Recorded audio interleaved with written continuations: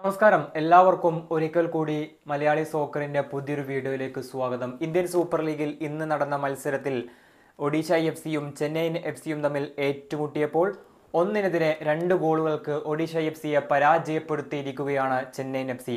മത്സരത്തിന്റെ ആറാം മിനിറ്റിൽ തന്നെ അങ്കിത് മുഖർജിയിലൂടെ ചെന്നൈയിൻ എഫ് സി ഇന്നത്തെ മത്സരത്തിൽ ലീഡെടുത്തിരുന്നു. എന്നാൽ രണ്ടാം പകുതിയിൽ മത്സരത്തിന്റെ എഴുപത്തി എട്ടാം മിനിറ്റിൽ റോയ് കൃഷ്ണയിലൂടെ ഒഡീഷ എഫ് സി മത്സരത്തെ സമനിലയിലേക്ക് എത്തിച്ചു. പക്ഷേ മത്സരത്തിന്റെ ആഡ് ഓൺ ടൈമിൽ അതായത് തൊണ്ണൂറ് മിനിറ്റുകൾക്ക് ശേഷം ചുരുക്കി പറയുകയാണെങ്കിൽ തൊണ്ണൂറ്റി നാലാം മിനിറ്റിൽ ജോർഡാൻ മുറയിലൂടെ വീണ്ടും ചെന്നൈയിൻ എഫ് സി ലീഡ് സ്വന്തമാക്കി. ഇത് മത്സരത്തിന്റെ അവസാന വരെ അവസാന നിമിഷം വരെ കാത്തു സൂക്ഷിച്ച ചെന്നൈയിൻ എഫ് സി വിജയം സ്വന്തമാക്കുകയായിരുന്നു. അതുപോലെ പതിനൊന്നാം സ്ഥാനത്തായിരുന്ന ചെന്നൈയിൻ എഫ് സി ഇപ്പോൾ ഇന്നത്തെ മത്സരം വിജയിച്ചതോടുകൂടെ പതിനെട്ട് പോയിന്റുമായി പത്താം സ്ഥാനത്തേക്കും വന്നിരിക്കുകയാണ്.